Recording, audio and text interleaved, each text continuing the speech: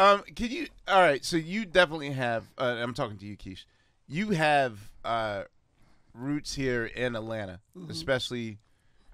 And or could you talk about your uh, your history with the Organized Noize family and how you got involved in that It's like circle? session work. Yeah. Like, Yeah. 'Cause I guess I first met you when you were singing with Outkast when we were Mm-hmm. touring, and you've been with them for the longest. Yeah. So how did, like, can you just explain that, the circle and that legacy? The Okay. peach and all them, right? Like So Yeah. the yeah. so the way that came about was I signed my deal with uh, Epic, which started off C- CBS Associated, Yes. which turned into Epic, bought by Sony. That was a off. It was a terrible deal, awful. I mean, I just signed. What you want me? What you want over here? Just sign it. Oh, what you? This too. So this was you it. signed as a solo artist. Yeah, this Okay. is me signed as a solo artist, and so we were. It was just at an age where we were just Mm-hmm. knocking heads, and at one point, What year is this? this was 80 88, was your first record. 89 it came out yeah Oh, wow. 88 Okay. is when we i And the recorded second the entire 91, album in a right? week Really? The second one was in 91. 91 hmm How did you get, were you fans of the Tuff Crew? Like, how did you get LA no Kid? i don't know how that shit went came down so Because that was a very random, I'm from Philly. So Okay. he's a guy to us. And I'm like, okay, that's weird. Yeah so Okay. it was i got signed i signed a deal there was a group in atlanta called the voltage brothers Okay. and i was doing session work for them like they called me randomly and said like studio in the house in the closet with the s- stocking Mm-hmm. Yeah, yeah, yeah. pantyhose on it it was like literally one of them so And about how old are you at this time? This was I had just moved down from college, so this was eighty, maybe eight, 80s, late eighty seven. Okay. They asked me to, can you come and demo this? Yeah, they came asked me to demo this song for them because they were trying to submit it to Diana Ross. Oh wow. It was called Hot Little Love Affair. So they sub- submitted the song, but they the, the label said, "Well, who's the girl singing it?" And so they decided, well, this is not going to be for Diana. If the girl wants a deal, she's got a deal. And then once they like, this is Millie Jackson's daughter, they were like, oh, this is easy. Yeah. This is uh-huh. easy. They didn't have to put hella stuff into promotions and stuff like that. It ain't nothing but a hot little love affair, which kind of went with the oh, that's Millie's daughter, Uh-huh. that kind of thing, right? so that happened. I signed the deal. Everybody took everything from me, and I was like, okay. So I asked uh, Hank Caldwell, Okay. was was the head of the black music department there, and I asked, can I just get out of this deal? So I did the second, the second album, and they pushed the producers out the way Okay. because they were they were trash, and then that's where all those other connections came in. Basically, Vivian Right. Scott, Vivian Scott. slash Chew, Chew. Right. Right. She's the one. She was my product manager, and she she did all that stuff. Wow. So half of it was done on the East Coast, half was done on the West Coast. You Hank also Col- worked with J-Swift before he produced. I did.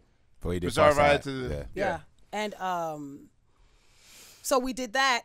Guy, he let me off the. He let me because I, Michael Jackson. First of all, that was the year that Babyface's Whip Appeal, the first so, freshman album, solo album, came out. Michael Jackson was on the label. I still Right. wasn't getting no love, even though I didn't have these Uh-huh. these producers. So it was like I was like, can I please just go? So I had to don't need me, wait out the production, the publishing. I waited it out. Um, I was already in Atlanta, and randomly, randomly got a call one day from L.A. Reid, from Charles, who used to be his assistant, saying, "Can you come?" And L.A. Reid would like you to do to come to the studio tonight to do a background session. Now I had never done background for anybody but myself on on those two records that didn't do nothing. They went paper. You know what I'm saying? Not gold, but paper. Like they didn't do nothing. So, um, we went to the studio and he was like, "We got this new artist, Toni Braxton." Okay, well, what's the song? Seven whole days. So we that was my first studio session ever Really? ever like Wow. background vocal session. And so we did that. Then that was good. I kept getting calls from them. OutKast wasn't signed yet. Okay. um so i kind of vaguely knew about OutKast but i had still had a whole lot of north in me. So Right. i really wasn't really hip to it. Not really even like welcoming it you know what i mean i was like ah this shit ah It's you know that's kind of how i You felt on your New York Atlanta. shit? Yeah, Yeah. yeah, yeah, yeah. And Atlanta just felt slow. It was just slow and moving, everything. You go to McDonald's, you take, why is you taking so long? On New York, it's on a timer. boom, boom. You know what I'm saying? You had one minute to get the food out. So, um, Joi, me and Joi had kind of I forgot how we met, but I started singing with her. Um, one day, she called me and said, "I have to work on my record, Cast." And I didn't know who she was talking about at the time because I didn't know Cass was OutKast. Right. She was like, Cass is going on the road. Um, this was at the end of ATLiens. Okay. AT Aliens, Aquemini. It was right in there. Yeah. And so she was like, Cass is going on the road on a tour next week, promo tour, starting in Paris. Can you go? And I was like, when? She was like, in six days. Wow. So I was like, well, yeah, because for me, I needed work. I didn't have no record deal. I didn't have nothing. So I was like, yeah, but now I got to figure out. I about to say, yeah, do you have a passport had, this time? I had a passport. Okay, you did have a Had a passport, passport, but did not know song the first. so she said rehearsal. You got to go to rehearsals. Rehearsal is. I said when. She said tonight. God. So Ah. I am trying my damnedest. You know, I literally went to like Turtles.